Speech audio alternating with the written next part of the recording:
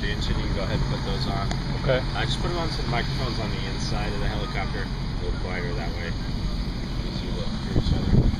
And go ahead and find your intercom buttons there. Jen, you're crazy. no, you're crazy. No, you're crazy. no. I'm not. You've skydived before. You're the one who's scared of stuff. I'm.